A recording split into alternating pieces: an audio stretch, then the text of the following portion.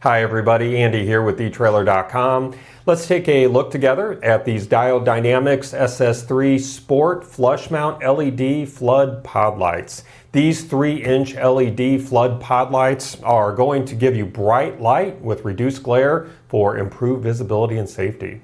As you can see, I do have this light currently hooked up to my power source. And what you're currently seeing is one of my favorite features of these lights. It's the backlight, and this is a red backlight.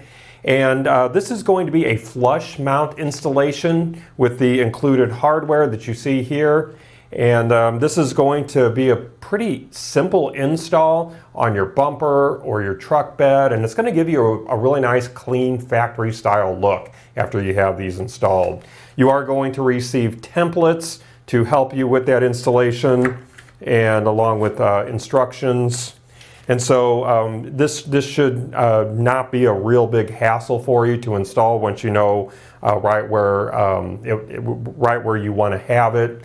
And I want to go ahead and turn my studio lights off here just to give you a better look at these lights. So I'm going to back out to my wide view. And of course right now you still see that, that red backlight. And that backlight is going to add a, a, a, little bit of a touch of style to your vehicle or add a, a, little bit of visibility when you're not using that main beam. Now talking about that main beam, let me go ahead and turn that on. As you can see, that's a big difference there. So we got our backlight again, and then our main beam. And that flood pattern is going to be great for lighting up trails at low speeds. So I'm shining that on the wall behind me, trying to straighten that out there just so you can see. So hopefully that gives you a pretty good idea of what that flood beam pattern is going to look like. This light has a temperature of 6000 Kelvin and that cool white color is going to match most of your factory LED lights.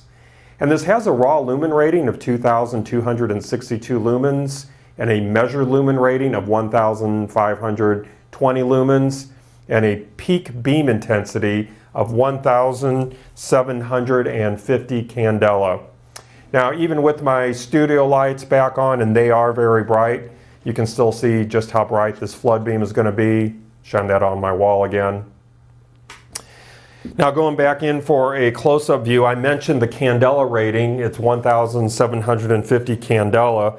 In case you don't know, candela ratings measure the directional light output and it's how anything is rated where you want light shining in a specific direction. Lumen ratings are just for omnidirectional output like your regular bulbs where you want light shining in all directions.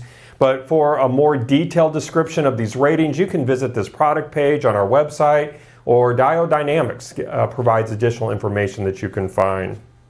So the power draw on that main beam is 1.1 amps and on the backlight it's 0.03 amps. And these lights are designed with the newer technology known as custom TIR optics TIR stands for Total Internal Reflection.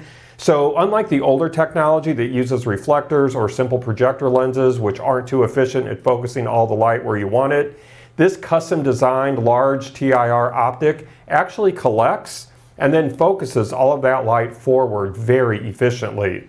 And then instead of having another lens surface, this, is, this uh, actually has lens patterns molded directly into this lens surface.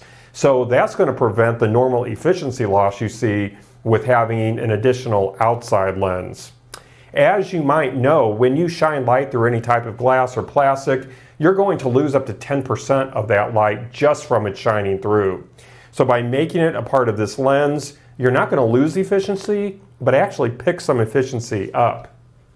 Now this also has the industry standard integrated Deutsch style uh, pigtail connector here. And just like how I have this light right now, that pigtail is going to plug into the back of the light just like that. And then while we're looking at the back of the lights, you can see that we have a breather, a breather patch, and that's going to be on each of these lights, and that's going to help prevent any moisture buildup.